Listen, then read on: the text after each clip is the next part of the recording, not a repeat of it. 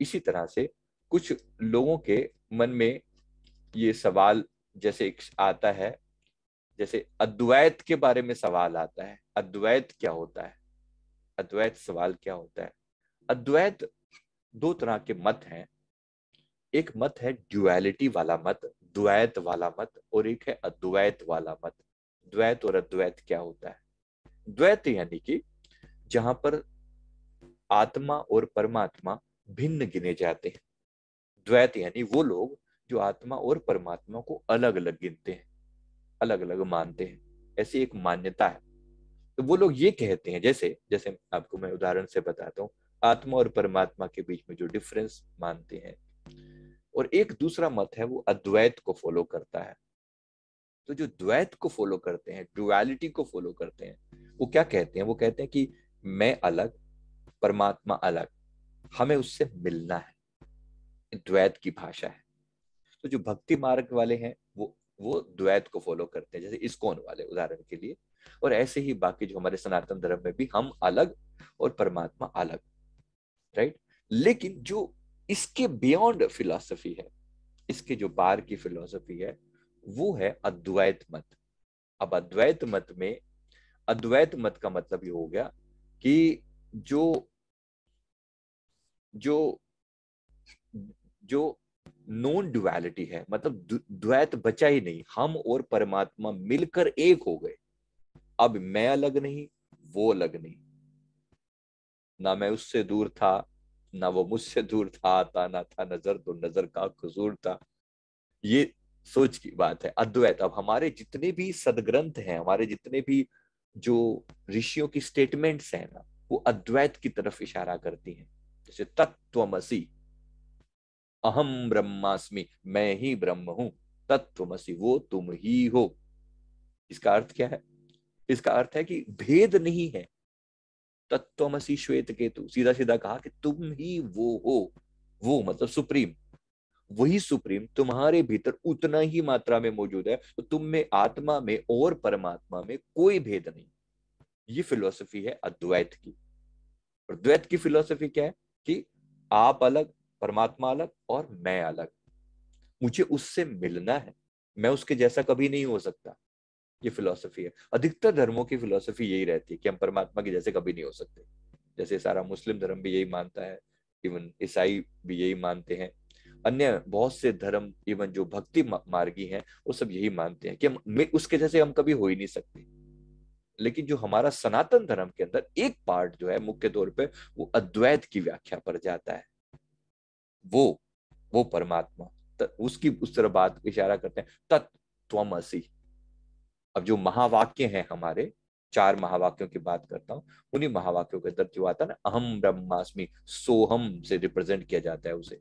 वो वो मैं ऐसा कहा जाता है। आप जब कहते हो, आमतौर पर लोग कह देते हैं सोहम।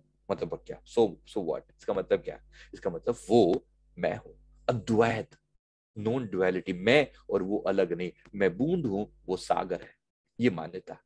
और बूंद जब स... बूंद के अंदर भी क्वालिटी वही है। याद रखना quality quality quantity of course Sagar की बहुत ज़्यादा है। सागर विराट है, बूंद छोटी है। लेकिन वास्तविक अगर डिफरेंस की बात की जाए तो दोनों के अंदर जो उसमें क्वालिटी का कोई फ़र्क नहीं है। हाँ क्वांटिटी का फ़र्क है। तो परमात्मा विराट है, एक महासागर है और हम एक बूंद है, लेकिन दोनों में वास्तविक गुण सेम है। ये जो व्याख्या है, ये अद्वैत की। और द्वैत की क्या है? द्वैत की है कि वो अलग है, वो महान है, सर्वोत्तम है, राजा है, एक तरीके एक तरीके से किंग है सबका, और हम साधारण उनके जीव हैं, उसके सेवक हैं। वो स्वामी है हम, वो सेवक हैं। एक भक्त की भाषा यही होती है। भक्त की भाषा यही होती है। बिल्कुल उत्तम है। दोनों तरीके हैं बात को समझने के अपने अपने कि भाई मैं मैं शहद परमात्मा रूप, अगर परमात्मा एक शहद की तरह से है, ये मैंने व्याख्या जो है इसकोन वालों से सुनी है। कहते परमात्मा अगर शहद की तरह से है तो जो ज्ञानी है, जो अद्वैतवादी है, वो कहते हैं, मैं शहद ही हो जाऊँ। कि मैं भी शहद हूँ, परमात्मा शहद है तो मैं भी शहद हूँ। ज़ाहिर सी बात है। तो ये कहते हैं इसकोन की व्याख्या। और सुंदर है ये व्याख्या। मैं ये नहीं कह रहा हूँ कि कुछ कमी है, बहुत सुंदर, प्यारे व्याख्या है। वो कहते हैं कि मैं मैं परमात्मा नहीं होना चाहता, मैं शहद नहीं होना चाहता। मैं मैं कोने पर बैठकर शहद का आनंद लेना चाहता हूँ। अति उत्तम। ये आपकी अपना सोच हो सकती है। तो मुक्ति के इसीलिए दो तरह के अर्थ हो जाएँगे। इसी बेस पर बनेगी मुक्ति। जिस बेस पर आपकी थ्योरी है फिलोसफी है, वैसे ही आप परमात्मा में जब मर्ज होंगे तो वैसे ही आपकी मुक्ति की व्याख्या भी बनेगी। पहली बात को समझ लिया द्वैत और अद्वैत, ये क्लियर है कि द्वैत क्या है और अद्वैत क्या है। परमात्मा को अलग समझते जाना, ये द्वैत है। और जैसे अद्वैत का मतलब जब हम उससे अलग रहे ही नहीं, हम लीन हो गए उसके अंदर, अद्वैत में लीन हो गए, प्रेम में लीन हो गए, मेरा अलग से कोई अस्तित्व है ही नहीं, मैं हूँ कहा? आकाशी हो गए। ये है अद्वैत। तो अद्वैत की एक फिलॉसफी है। जैसे आदि शंकराचार्य जी की जो फिलोसफी है, ये अद्वैत अद्वैतवादी है। कबीर साहब अद्वैतवादी हैं। अब अद्वैत अद्वैतवादी। द्वैत जो है, ये वो, ये वाली फिलोसफी है कि हम अलग और वो अलग। हमें उससे मिलना है। और एक भक्त की जितनी भी भाषा है ना, ये मिलने की भाषा है। मैं अलग हूँ, वो अलग है, वो मेरा प्रियतम है, मुझे उसके पास जाना है, मुझे उससे मिलना है। और जो अद्वैत वाले हैं, वो ज्ञान ज्ञान हो गया। जितनी भी अष्टावक्र गीता है और अवधूत गीता है, ये अद्वैतवादी हैं। तुम अलख निरंजन, ईश्वर हो, तुम सूरज हो, दिन रात नहीं। ये जो व्याख्या है, ये अवधूत गीता की। इसी तरह से कहते हैं कि तुम वही हो, तुम ही परमात्मा हो। ये दोनों अलग अलग में कभी कभी कॉन्फ्लिक्ट भी हो जाता है इसमें, लेकिन बिल्कुल भी कोई कॉन्फ्लिक्ट वास्तव में नहीं है। दोनों वास्तविक रूप में एक ही है। सिर्फ़ आपकी सोच है कि आप किस रूप में आनंद लेना चाहते हो, परमात्मा के साथ किस रूप में जुड़ना चाहते हो।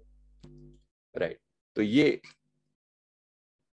तो ये एक पार्ट समझ में आ रहा है। तो ये है इसका एक एक हिस्सा जिस पे हम बात कर रहे हैं।